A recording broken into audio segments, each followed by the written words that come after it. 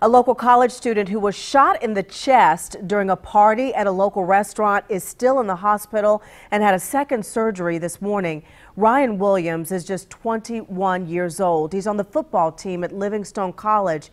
He was at a crowded party at Thelma's Down Home Cooking Restaurant in Salisbury over the weekend. Someone opened fire at the party, shooting six people, injuring three others. Four of the victims went to Livingstone College. Three other students attend Catawba College. Now, just a short time ago, I spoke with Jordan Darashaw, one of the Catawba College students who was there that night and got shot. First of all, go ahead and, and describe for me what what was happening that night when you went to um, this party. We got to the party. Uh, it was very casual, like very just like the vibes were okay. You know, everybody was cordial, everybody got along, everybody was dancing, having a good time. Um, and eventually a fight broke out and we tried to like leave, but before we can leave, there were gunshots. And as I was trying to approach a friend to like protect her from the gunshots, um, I actually got struck three times. So wow. I got struck in the shoulder and it came out. Then I got struck on my hip and it came out, and then I actually got grazed by another bullet under my hip. And um, this happened while you were trying that, to protect a friend? Yes. So I saw her getting ready to lay on the floor, and I was going to lay on top of her to make sure she was good.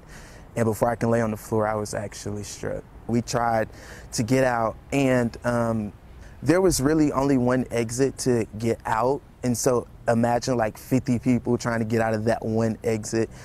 Um, eventually we got outside and it was almost literally like hell out there because everyone was screaming, everyone was shouting. And how are you doing now with your injuries? Um, emotionally, I think I am distraught. I, uh, I definitely have PTSD right now. I've been seeking a counsel, counselor here at school.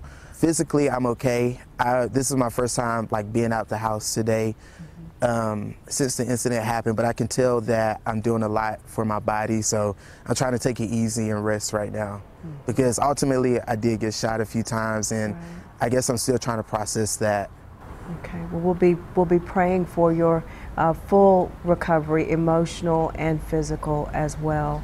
Um, as you, as you go forward from today, what, what do you want people to know?